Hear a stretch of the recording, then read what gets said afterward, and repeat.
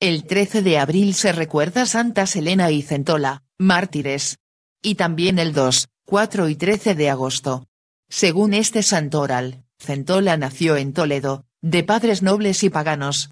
Desde pequeña observó, por sus propios razonamientos y observación de la realidad, amén de la ayuda divina, la falsedad de la idolatría, aquí el autor se explaya en lo que él llama ridiculeces del gentilismo. Así, abrazó en secreto la fe cristiana con todo lo que significa, oración, caridad, sacrificios, anuncio de Jesucristo. Su padre intentó que abandonara la nueva fe y volviera a la fe de sus padres.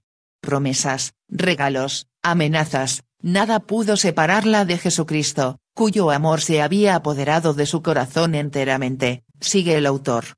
Así fue que, sintiéndolo mucho, huyó de su casa llegando a Soris Osiaria, actualmente Sierro, tierra que pertenecía al antiguo obispado de Burgos, aunque no a la ciudad. Allí se hospedó en la casa de una señora cristiana llamada Elena. No nos dicen las crónicas o tradiciones ni cómo se conocieron, ni por qué allí, pero es probable que siendo la hospitalidad entre los de la misma fe, una virtud amada por los cristianos, Elena la acogiese al saber que huía por motivos religiosos. Así es que Centola y Elena, ya juntas se dedicaron a obras de caridad y piedad.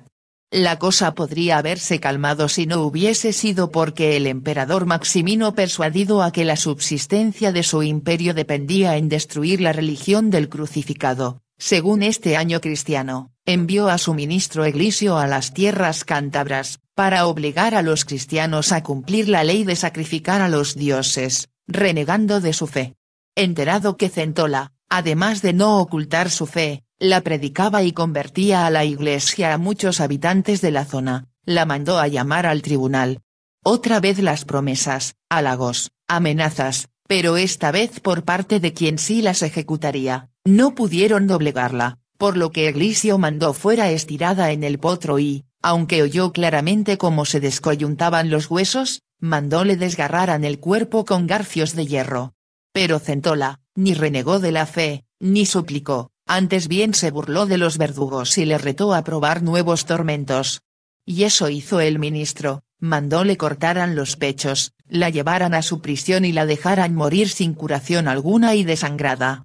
Enteradas de esto, se llegaron a la cárcel algunas nobles del pueblo, espantadas de la crueldad del gobernador y compadecidas de Centola, por tanto, se afirma el hecho de que sería muy conocida entre todas. Algunas intentaron persuadirla de su empeño de fidelidad, y que cediese a los requerimientos de la ley. Centola, por su parte, les contestó con una apología de la fe cristiana, tal vez añadido posteriormente, y les dio a entender el premio que a ella misma le aguardaban por permanecer fiel a Cristo, los cuales si ellas los hubiesen apenas intuido, le tendrían envidia y no compasión. Supo Eglisio de esta prédica en la cárcel y mandó cortarle la lengua, pero aquel señor por quien padecía hizo que hablase sin tan preciso instrumento, por una de aquellas portentosas maravillas de su infinito poder. O sea, que aún sin lengua habló, y más que hablar, profetizó a Helena, que vino a visitarla también, que ella también sería mártir, y le deseó valor para que no desmayes en la prueba. Y dicho y hecho, enterado Eglisio que estaba allí Helena, y que era cristiana, la apresó, de lo que se alegró Helena, deseosa de acompañar a con acento agudo su amiga en la muerte, como lo había hecho en vida.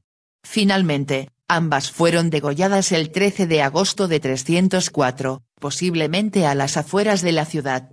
En el año 782 los esposos Fredenandos y Gutina, señores de Castro Sierro, construyen una pequeña iglesia sobre el río Butrón, en Teja, sobre el tradicional lugar del martirio y donde aún se venera la memoria de las santas. Según el obispo de Burgos, Gonzalo de Hinojosa, los obispos de Astorga y León llevaron los cuerpos a dicha iglesia, dice que los compraron por 300 libras de oro. Los calendarios mozárabes ponen a Centola el día 2 de agosto, pero no le dan título de mártir y su culto no se asoció a Helena hasta el siglo XIV, luego del traslado de los cuerpos, realizado por el mismo Gonzalo de Hinojosa, que puso su martirio a 4 de agosto del 304. Se realizó esta traslación en 1317, reinando Alfonso sí, para que recibieran culto más apropiado en la Catedral de Burgos, aunque se dejaron las cabezas en cierro. Don Gonzalo los colocó en el altar mayor, y les concedió misa y oficio propio, con rito doble de primera clase. Hoy es una memoria obligatoria. Decretó se hiciese procesión y que el 4 de agosto fuera de precepto para la ciudad y diócesis de Burgos. Baronio las inscribió en su martirologio el 13 de agosto Burgis in Hispania Santarum Centola et Helena Martirum. Actualmente el arzobispado de Burgos celebra a Santa Centola el 13 de agosto, pero solo a esta, porque aunque las actas son legendarias y sin crédito el culto a Centola está arraigado en Sierro. No así el de Helena, cuya persona y culto se añadió en el siglo XIV y de la que no se sabe nada, tal vez sea otra mártir desconocida, tal vez ni siquiera eso.